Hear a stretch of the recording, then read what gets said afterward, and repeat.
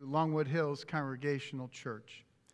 We are an inclusive spiritual community seeking to live out a more just and generous Christianity. We think faith is less about doctrines and dogmas demanding total agreement, but rather a life to be lived, enjoyed, and given away to others. What unites us is a growing awareness that life is a gift and love is the point. We welcome the entire human family, no matter who you are or where you are on life's journey. You are beloved and treasured child of God, created in God's image and filled with God's holy breath. So if you are curious and you have come to see, if you are tired and you have come to rest, if you are grateful and you have come to share, if you are on a journey and you have come to grow, if you are wounded and you have come to heal, if you are joyful and you have come to shine, we welcome you home and we're glad that you are here.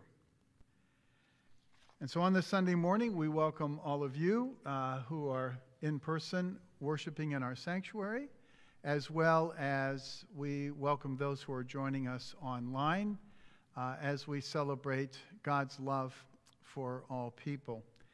And this morning, I just want to lift up um, and thank you. Uh, last Sunday, we gathered our Neighbors in Need special offering. Um, and so far, we've collected uh, $425 uh, for that offering. And if you have not yet made uh, a donation to Neighbors in Need and you desire to do so, we welcome you to do that today uh, using one of the envelopes that we have there in the. Oh, we don't have envelopes. Um, so I guess write a check or put some cash uh, into the offering box in the lobby area as you uh, place your offering there uh, this morning. Um, and we just celebrate the lives that we are able to touch through um, your continued generosity, not only with your finances, but also with your time and many, many talents. So this morning, um, Catherine Dilly, as our um, singer, along with Scott Kincaid and uh, Jim Wagoner and Chris McMahon, um, just to identify who's in the praise band this morning. And let us continue our worship of God with our music.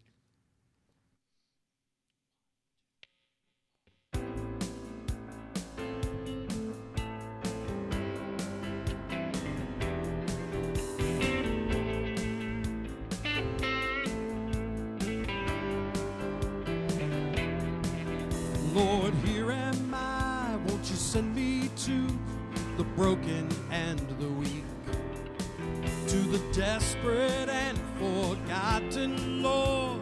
I'm giving you everything. All my selfish plans, my greedy hands, my hope for the American dream. Lord, I give my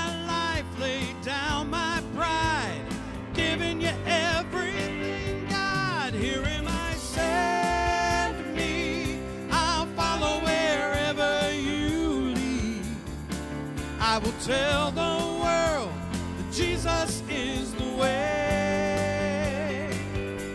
Send me, Lord, here I am. I offer my dreams and my plans. I will give my life a living sacrifice.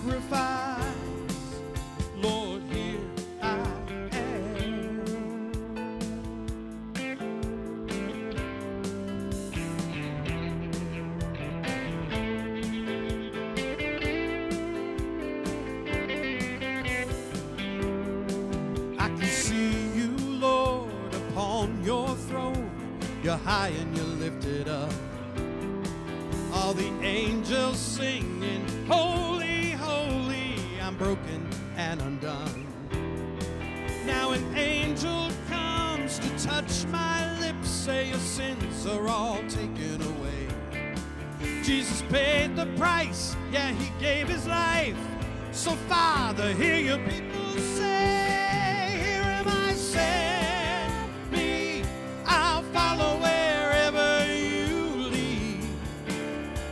tell the world that Jesus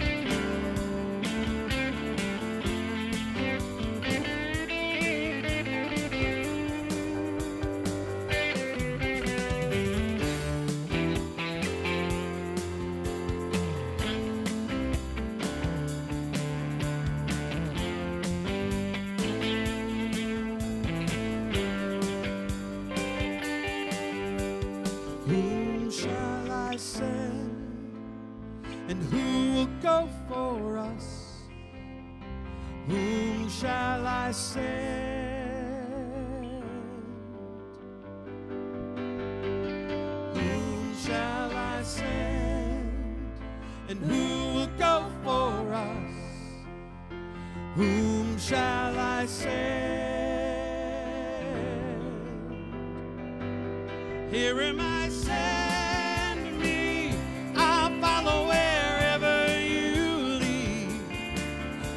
tell the world that Jesus is the way.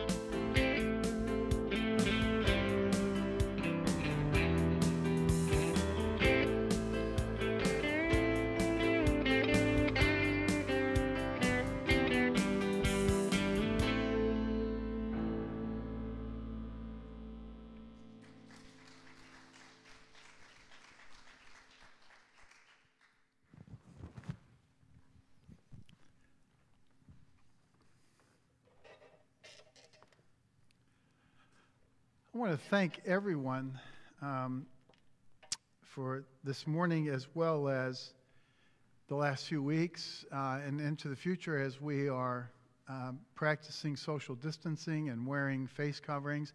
Uh, thank you so much for your patience as well as your concern and care for each other um, as we worship together. Uh, I mean, it really means a lot that the church pulls together and, and is considerate of um, not only one another as people who belong to uh, Longwood Hills, but also guests that may come and, and be a part of our worshiping family as well. So this morning, I invite you into a time of prayer and just to say and, and be reminded of the increase of cases that are, of the COVID 19 that is uh, all around our country, and certainly to pray for those who are uh, infected, um, also those who care for them, doctors and nurses and caregivers, uh, first line um, uh, workers as well. Uh, just remembering also their families and their friends, uh, as well as those who have lost their lives uh, during this time. We also pray for our nation as we move ahead and find our way through this together.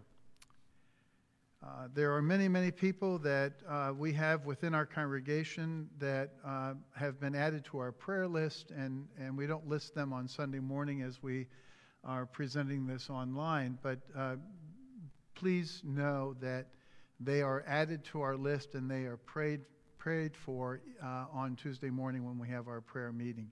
So I do thank you for offering those and sharing those and know that uh, we are continuing to lift prayers. And that list is growing. It's amazing. Um, the things that people are going through in addition to these times uh, as well. So we need to remember that. Let us pray.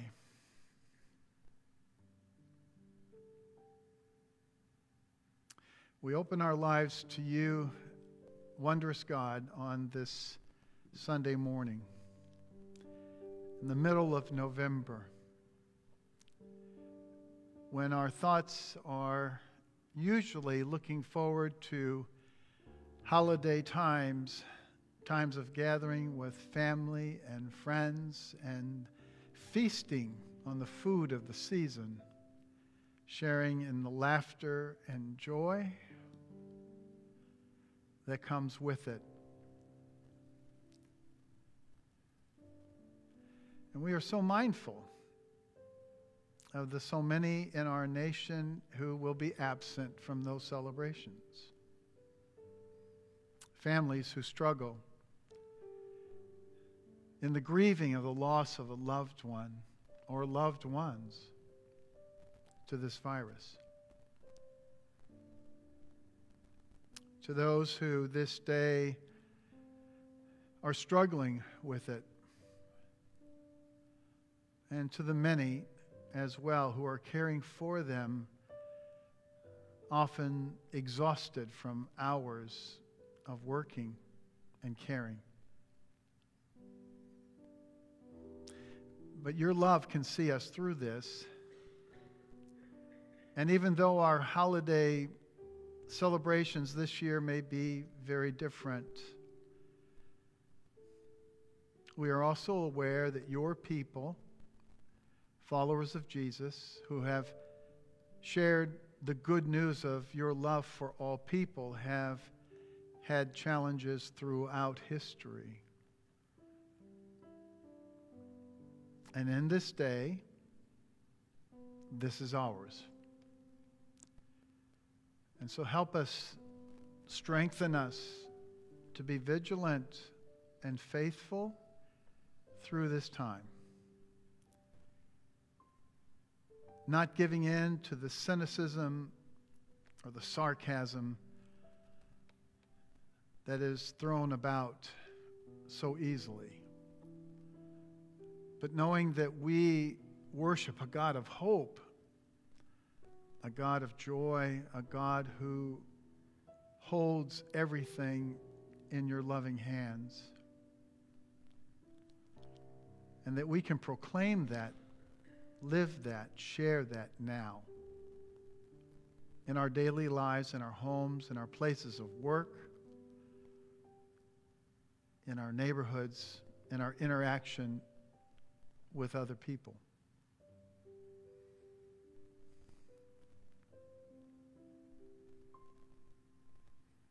So, in this time, we bring many prayers with us that we lift to you from the silence of our hearts, knowing, trusting that you hear all prayers, whether spoken or silent, and you respond with your gracious love.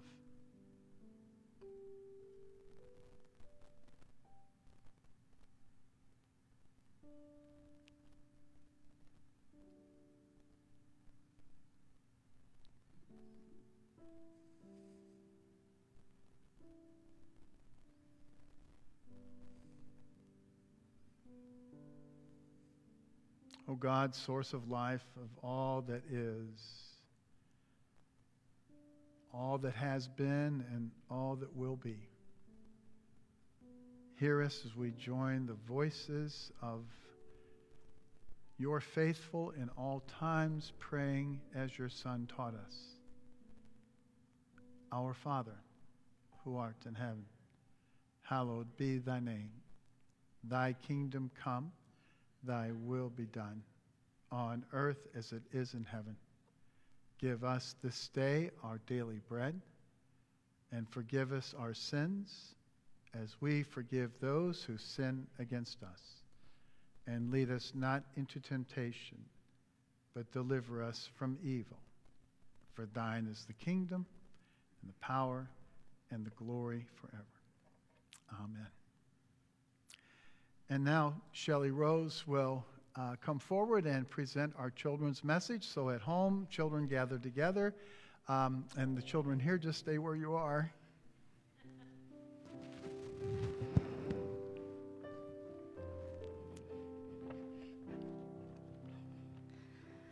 Right. Good morning, friends. I so miss seeing everybody, all of my Sunday school friends, and um, I love to see the ones that are here, but I miss all of you at home too. I just want you guys to know that. Um, so today, um, our story um, comes from Mark, and it is about two brothers that um, are in the group, in the disciples that are following Jesus, and he, Jesus teaches them about what it means to be a VIP. So, some of you may know what VIP stands for. Maybe you know what a VIP is, but it stands for very important person. So, James and John, the brothers, they ask Jesus to be a VIP in his group, in his kingdom. And Jesus teaches them what that really means. But before I tell you what he says that means, I want you to think about what a very important person looks like to you. I want you to picture a VIP in your mind. Maybe this is someone you, you see and you're like, wow, they've got a lot of power. They can make stuff happen. Or maybe it's somebody who has really nice clothes and dresses nicely and they're fancy things and they have a really cool car that they drive around. That must mean they're very important. Or maybe it's someone who has a lot of money. Like you see, wow, they, they can get into all of the cool places. They can go wherever they want, whenever they want to, because they have all the money to buy themselves in there, and everybody wants to be around them. That must make them a very important person, a VIP. But that's not what Jesus tells us makes a VIP. So, a VIP, the way Jesus describes it, is someone who serves other people. It is someone who does things for other people that actually costs them something. It doesn't cost you money, but it does cost you time, and it can cost you energy, maybe um, maybe you can be a VIP in your family. I know you can actually, because every time you do something really nice, really good that takes maybe time out of your playtime, time out of your alone time, time out of your uh, screen time or playing video games and fun things like that. All of that stuff that you're like, yeah, this is for me. It's all about me right now. Taking some of that time and maybe asking someone in your family, can I do a chore for you? Maybe it's, maybe it's their turn to feed the dog. Maybe it's their turn to do the dishes. Or maybe they can't come play with you until their chores are done, or they have to do their laundry or fold it. Those are all things that you can serve in your family, in your community. I want you to look for things this week that you can be a VIP in your family, and you can be a VIP in your school or um, at church, we Lexi was so wonderful today. She was a VIP for us because she lit the candles. So there's lots of awesome things that you can do to serve and be a VIP in this community, in your family, and um, out in the community when you're walking around, hanging out with your friends. Maybe you see something on the ground. You're like, I'm going to stop my day and do something for someone else. So I want you guys to do that. That's my challenge for you this week. Is I want you to find one person every single day that will make you a VIP. And you can do something to serve and um, in the same way that Jesus served. That's what he did. The whole, all of the Gospels, when you follow, what is Jesus doing right now? What is Jesus doing right now? He's teaching and he's helping. And that's what he asks us to do as well. That, that is how you become a VIP. Not all the money and the cool stuff, but the serving people. So, Go out this week and do that for your friends and your family and your community. Thank you very much.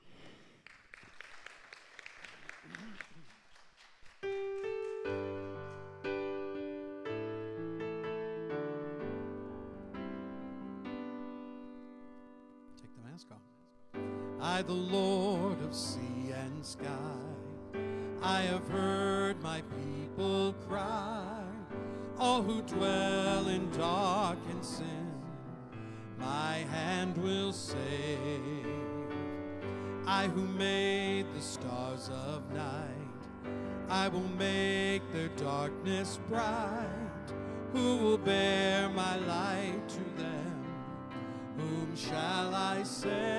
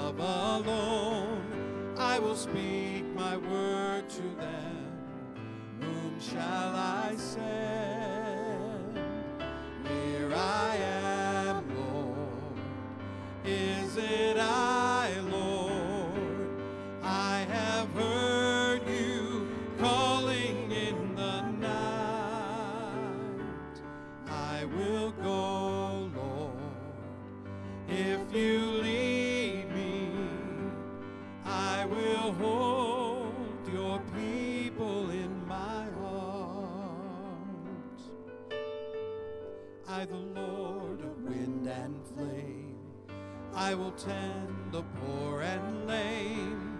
I will set a feast for them. My hand will save. Finest bread I will provide till their hearts be satisfied. I will give my life to them. Whom shall I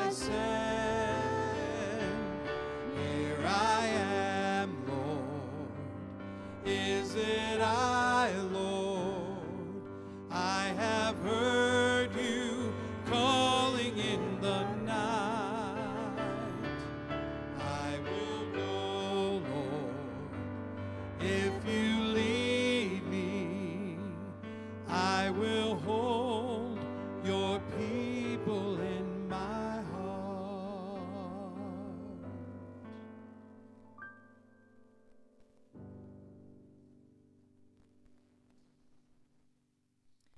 reading from Mark 10 35 to 45.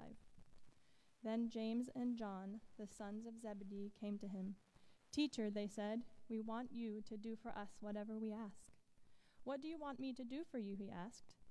They replied, Let one of us sit at your right and the other at and the other at your left in your glory. You don't know what you are asking, Jesus said.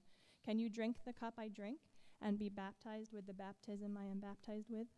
We can, they answered. Jesus said to them, You will drink the cup I drink and be baptized with the bapti- baptism I am baptized with. But to sit at my right or left is not for me to grant. These places belong to those for whom they have been prepared. When the ten heard about this, they became indignant with James and John. Jesus called them together and said, You know that those who are regarded as rulers of the Gentiles lord it over them, and their high officials exercise authority over them. Not so with you. Instead, whoever wants to become great among you must be your servant, and whoever wants to be first must be slave of all. For even the Son of Man did not come to be served, but to serve, and to give his life as a ransom for many. Here ends the reading.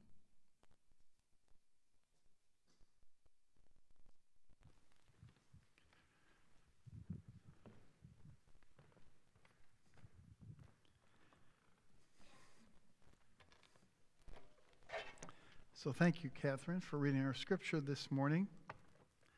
As we continue, excuse me, our series of messages on the beloved community, perfectly imperfect, and we've taken a look at um, some of the people around Jesus who were touched by his ministry and his life, and um, how they were affected, how they transformed, how they changed. Uh, and today uh, we're going to be taking a look at James and John. And thank you, Shelley, for such a wonderful children's message. You- really, re- kind of made it so I don't have to preach this morning. Uh, you've explained it, and, and so while I'm going to continue preaching because they, well, they make me. Um, I, uh, I know that people will be sitting there going, yeah, yeah, yeah, we heard that, we heard that, you know. Um, but I think it's, it, it is important, and thank you for explaining it in such a, a neat way. Uh, Jesus is traveling along, and he has a very specific mission. And in this portion of the gospel according to Mark, he's headed to Jerusalem, to where he will give his life to show how deeply God loves humanity. And in doing so, the disciples, you know, at various times when Jesus would announce that intention, uh, they would react in various ways. And so here it is again. Prior to this passage, he announces once again that he's going to Jerusalem, that the Son of Man must give his life uh, and die. And the reaction of the disciples this time is rather curious. James and John finally get it through their head. He's going to his glory. So now's the opportune time to ask for a favor. Lord, when you come into your glory and into your kingdom, please allow one of us to sit on your right and one to sit on your left. One of the commentaries I, I read in preparation for this sermon said, You know where else somebody sat on his right and on his left if James and John were looking? on Calvary. The thieves were crucified, one on his left and one on his right. Maybe that was a foretelling of what it meant to continue to follow. What asking those kinds of favors. That's when he Jesus said, "Can you drink the cup I drink? Can you be baptized? Because that's my baptism is the crucifixion. The cup I'm drinking is my suffering.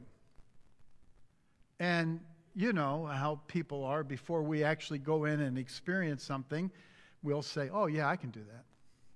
I got that covered. And then to see it.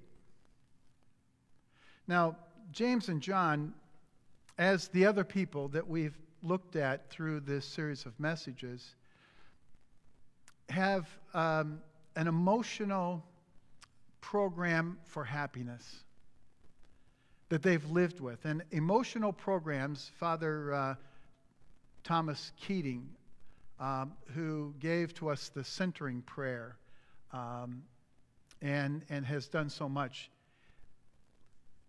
kind of created or thought up this, this phrase, emotional program for happiness, because that's what we have. This is what we think makes us happy in this world. And Shelley did a great job talking about and delineating each one of those. Maybe it's power and, and position, maybe it's money, maybe it's finances, maybe it's um, uh, knowledge, as last week Nicodemus.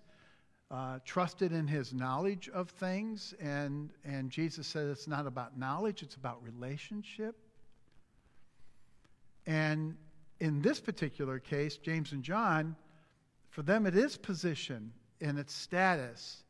And with that comes power. If one sits on his right and one sits on his left in the kingdom, it means they are VIPs. They are very important.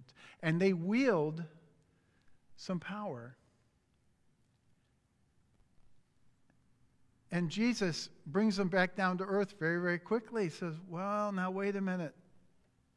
So you know that the Gentiles like to have their leaders lorded over. That's, that's what it means to be a leader, is that you have a position, you have authority. What you say will go, and people respect you because of what you have attained in this world.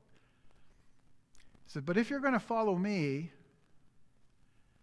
then you will need to become a servant. Man, that cuts into our society as deeply as it cut into their society. Because we put a lot of importance upon those very things, do we not? Someone has a degree to be a lawyer or a physician and, and please understand, I'm not bashing that in any particular way, but we sometimes give respect that hasn't been earned yet. That's one of the things about, th- th- there are still people, you might not uh, believe this, but there are still people who give pastors, uh, when they find out you're a pastor, that's why when somebody asks me, What do you do for a living? I say, I'm in life insurance. because then I get to hear all the good stories, you know, and, and the conversation continues. It doesn't stop right away. And uh, Judy and I did that recently at a, a wedding reception that we went to, and we couldn't find a seat. And there was one table that was there, and we walked over, and I said, I am so sorry. I said, but um, you're going to have the pastor sitting at your table, and that's probably going to quiet all the converse, good conversation. And the two women that were sitting there said, We're sorry too, because you might not want to sit with us. I go, Why? Because we are IRS agents. I go, Good point. I'm looking for another table. it, it, people do give us, and, and it always, it not surprised me, but why would you give me respect just because I say I'm Reverend or I'm pastor. You don't know me yet. I might not be too good. And yes, in today's world, we are discovering that pastors are very, like other leaders, politicians, all that, they're all fallible. We're all fallible. We all have clay feet, and we're all human. But we think that people who have position and power, that that somehow makes them fulfilled they find meaning in that and purpose. They find their emotional happiness. And Jesus says, you know, if you really want to live life, if you really want to experience fullness of life, then become a servant. Wow. You know, that's, that's what we are as followers of Jesus. We're all servants. And I, and I love that reference to VIP because, you know, in essence, um, we're all VIPs. In God's eyes, we are all very precious, very important and precious people because we are the reflection of God. You know, you can go any place on a any morning where people are gathered together, maybe not so much today, in today's world, but normally uh, a McDonald's or uh, um, a pancake house, and people, are, you'll find a group of folks that join together regularly. If it's not every morning, it's once a week or frequently, and, and they sit around the table because they're old friends and they talk about the problems of the world. And, and it is, they solve those problems every morning around with that coffee, you know? And um, I wonder how that would change because that's what we think God is. Remember the, the movie Bruce Almighty, where Jim Carrey uh, wants to be God so that he can have things the way he wants it. And then he comes to find out that being God's not so easy. But that's our impression a lot of times. I wish I could be God for a day and then I could change the world and the world would do what I say. We think that's what God is. And then Paul in Philippians reminds us no, that's not what it's on. Because even though Jesus was in the form of God, he did not count equality with God as something to be grasped or exploited or manipulated, but he emptied himself. You want to be like God? We want to find our true nature and God's image? Then we become servants. And we reach out and we serve others, not for position or power or status or recognition, but we serve.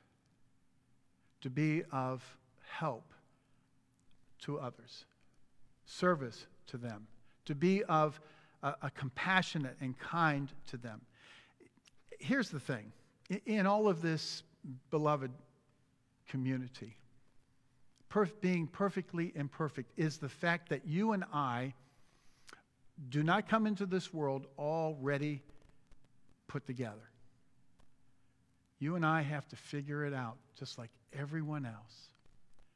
As we grow and mature, as we experience life, as we have good times and bad times, as we have success and failures, and sometimes we forget we're always a work in progress. And we also forget that God never gives up on us, ever. So we might trip 99 times out of 100. It does not matter. As long as we try that 100th time, get back up. And, and believe not in us and our abilities because we failed 99 times, but we believe that God can bring us to wholeness, that God has our back, that God loves us, that God embraces us, and God never, ever gives up on us. That's the program for emotional happiness that we can trust. Let us pray. As James and John, we too are sometimes misunderstanding your message. And we strive for positions of authority from time to time within our church and beyond. And you will humble us every time because you will send a message that true service and true leadership is discovered and expressed and manifested in how we serve each other. May we be about that each day of this week. Amen.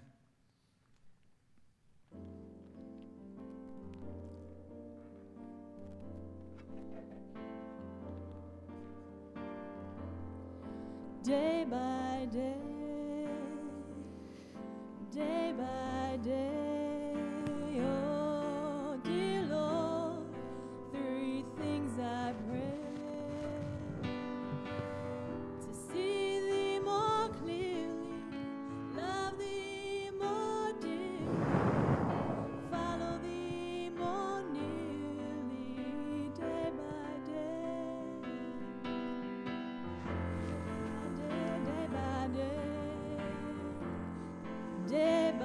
Day,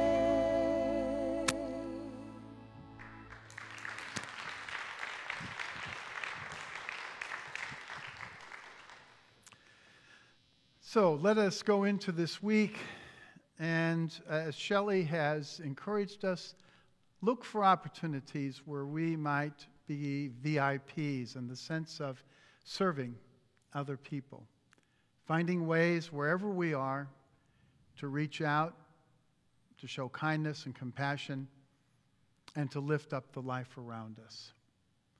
As you go, may the grace of our Lord Jesus Christ and the love of God the communion of the Holy Spirit be with you. Amen. Amen.